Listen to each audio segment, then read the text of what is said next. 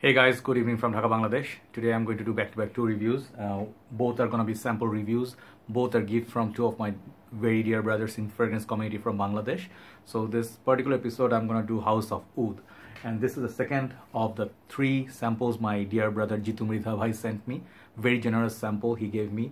And I have been testing them for some time. A lot of juice actually to test and do the review. So today I'm ready to do this review. I have it on my hand. I can smell it this is a very beautiful uh, fruity floral kind of uh, inoffensive fragrance without any oud. So first of all, I'm so sorry I cannot show you the bottles because the bottles are really the uh, highlight of the whole fragrance package. The packaging is just fantastic. I think the prices I'm not quite sure, but they're expensive because these are niche perfumes. So when I hear the House of Oud, I actually expect a lot of oud in the perfume and sometimes it might scare people off. But here I'm here here I'm here. Here I'm, I'm uh, going to tell you something different about these perfumes. So the first one I tried what was uh, dates delight I think that's the name. And that was full of dates sweetness you know like chocolatey sort of a sweetness.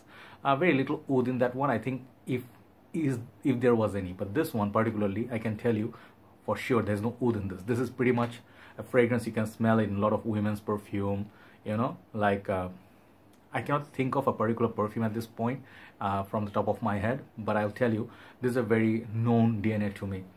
So when I sprayed for the first time, this fragrance wel welcomes me with uh, kind of like a very beautiful, uh, how do I say, is this pear? I think pear slash peach, you know, like either one of these. Peach is uh, one of my favorite notes, it's very uh, fruity, sweet, rich kind of uh, sweetness. When you take bite on a peach, it's just, it just melts in your mouth so peach I love in My Burberry black. That perfume is one of my favorite peach perfume. This is not as pungent as that. So this is called breath of infinite. Sorry i couldn't tell the name before. Uh, i mean i didn't tell. Uh, this perfume i think uh, breath of infinite the name is pretty creative. It's like the name like breath of god. Like gorilla perfumes has a fragrance that names like named like this. So this perfume what i really get when i spray for the first time i told you that peach. And uh, kind of like a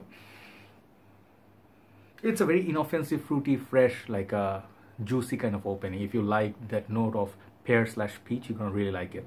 But the perfume i think will be more suitable for women because very floral after a while. It's it's like florals like peony.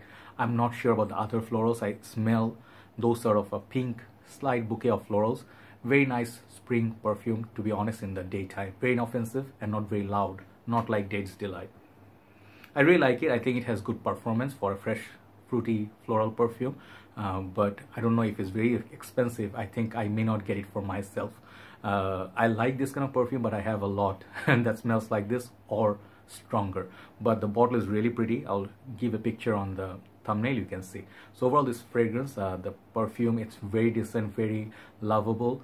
Uh, the performance is good bottle is really pretty so overall package uh, how much I like it I like it but not really pure love because this fragrance it's very simplistic sort of a perfume but uh, you can give it to your wife your mother or sister or your friends whoever whatever your case fiance girlfriend they're gonna really like the bottle and the uh, perfume. I'm giving it 7.5 out of 10 that is my review. Let's move on to the second review which is gonna be from house of Jean Paul Gaultier. See you soon. Bye bye